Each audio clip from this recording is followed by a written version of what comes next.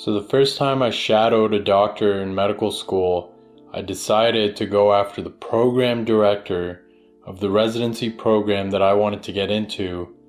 And it was a very competitive program and not the best idea.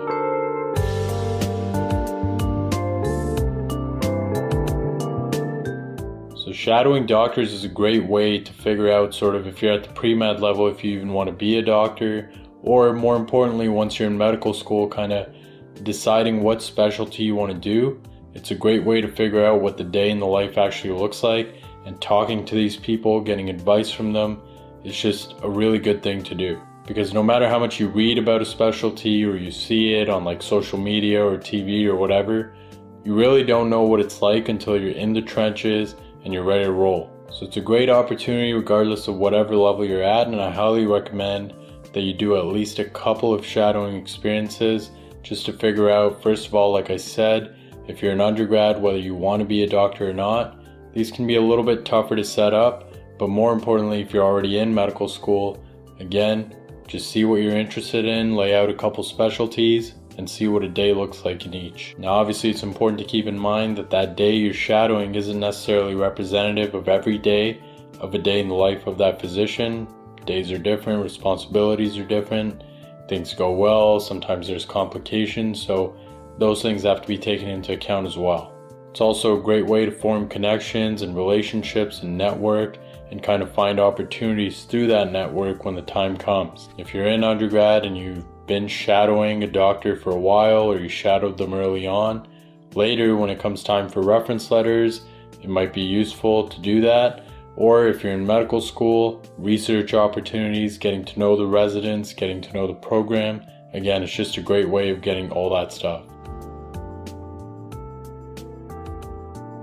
So in order to do this, you're gonna have to figure out who actually takes on shadowers. And if you're already in medical school, the school oftentimes has a list of people that takes them on because if you're at an academic center, the hospital already knows there's going to be students around, and it's not that surprising or out of the ordinary for them. And generally, as part of your tuition, you're also paying for like insurance from the school to cover you while you're in the hospital. So, again, it just makes it a lot easier. And it's exactly why it's a little bit more difficult when you're pre med because you don't have that same insurance covering you, and the doctor kind of has to be more careful with you while you're there. So, if you are a pre med, unless you know a doctor or family friends that are doctors, it might be a little bit more difficult. In your case, your best bet's just going to be Google. You just search up doctor of whatever specialty you're interested in and then your city's name and just see who comes up Start making those phone calls, start sending those emails, and see what you can find. And in terms of medical students, it's not much different for you. You're going to have to email that doctor's office, talk to their secretary, and kind of set things up that way. Now, if you do happen to know some family friends or somebody in your family is a physician, use that nepotism, get in there. But if you don't, make those cold calls, make those cold emails, and just focus in on physicians that work at academic centers because, like I said, they're the most used to having students around, so it really shouldn't be a problem for them. And don't be offended if people say no, you got to keep in mind these are busy people with stressful jobs and obviously other responsibilities other than work. So it's nothing personal most of the time, usually it's just bad timing. So after you've found who you kind of want to shadow with, you're going to have to communicate with them, and this is usually done by email. So Send them an email from a professional email account from your student account. I like to just put in the subject heading like medical student interested in orthopedics or vascular or whatever specialty that you want to do a shadowing experience in. It's clear, it's to the point, they kind of know what the email is going to be about. And this whole process, you just want to make it as easy on them as possible.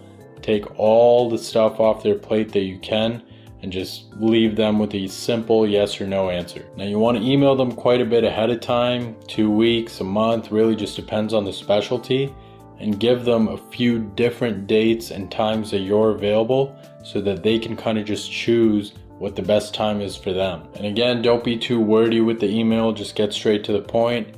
Hey, Dr. Whoever and co, or the secretary's name, whatever it is my name is this. I'm a student here. I'm interested in this specialty. I was hoping to do a shadowing experience with you, Please let me know if this is possible. Below are some dates and times that I'm available. That's it. You don't need to get fancy with it. You don't need to waste your time with a whole poem about their specialty.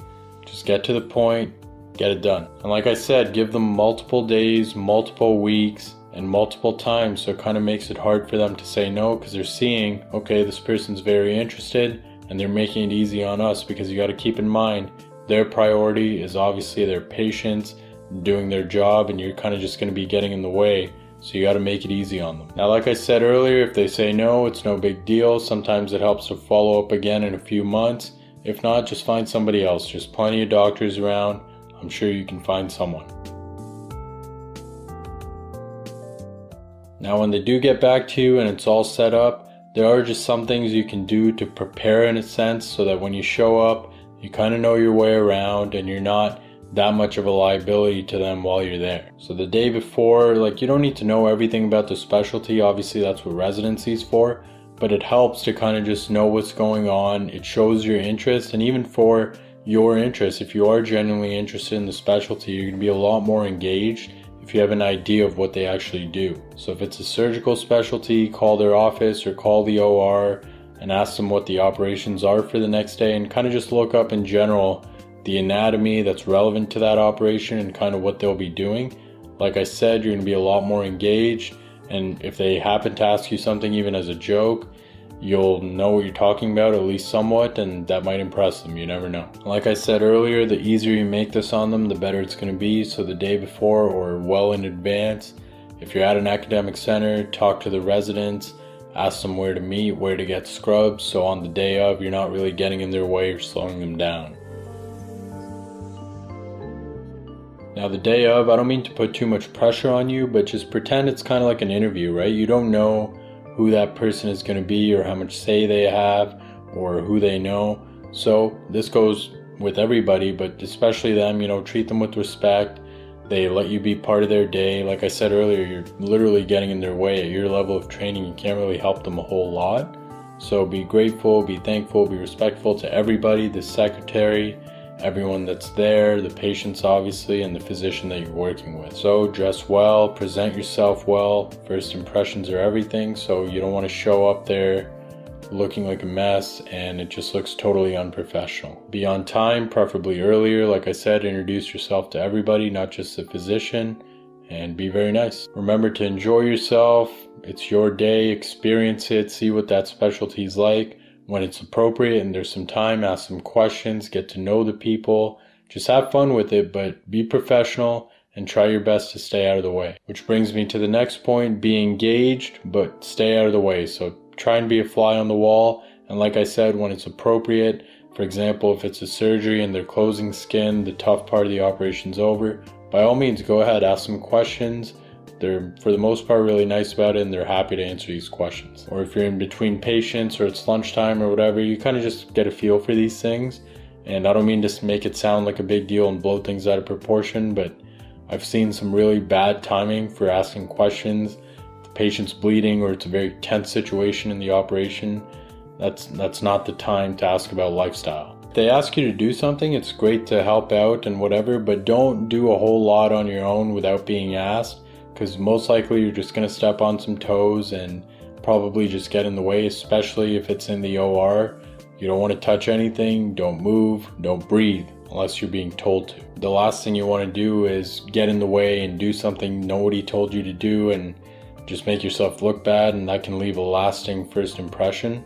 So, like I said, just have fun with it, do what you're told, just follow instructions, and read the situation. Now, it's really not that big of a deal. Doctors have shadowers all the time, and for the most part, they love to have learners with them. They kind of get to show off their specialty, be an expert, show off their knowledge, and answer any questions you have. But I do think this warrants a video and kind of talking to you guys about how to navigate it because it can have some bad consequences if, like I said, you do something that you weren't asked to do or you try too hard to be impressive and it kind of leaves them with a sour taste and not really a great first impression. So, like I was saying earlier, the very first observership that I ever did in medical school was with the program director of the program. It was a surgical program, and I don't even know how to scrub. Uh, we haven't even done the block of that particular system's anatomy. So, like, I'm going in blind and I choose to do it with the program director. Now, luckily for me, he was a really nice guy and things worked out. In fact, he stood there and taught me how to scrub for the first time. He let me stand next to him in the operation, kind of get me involved in retracting a little bit. There was a resident and a fellow. It ended up being a fun day, but if I could do it over again, the very, very first one, I probably wouldn't go with the program director or the big shot of the program.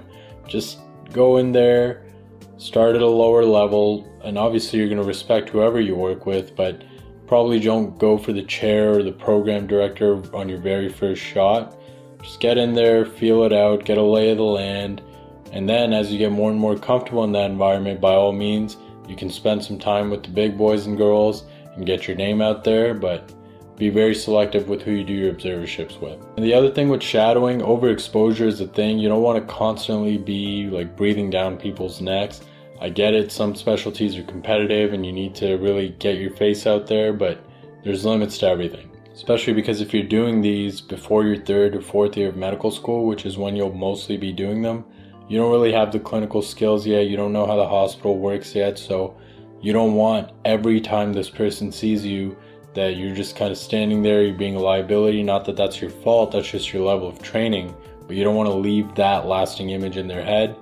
Do an observership, maybe two with the same person, and then kind of just leave them alone. And then the next time you see them, hopefully your a tip top clerk and you're working with them. You know exactly how the system works because you're observerships and you fit right into the team and you're actually helpful. So that's pretty much it. Like I said, shadowing is great. It helps you kind of figure out what specialties you want to do. It helps you get to know people, get your face out there. Those are all good things. So have fun with it. Seek out those opportunities. But like I said, just don't overdo it. Don't be annoying with it.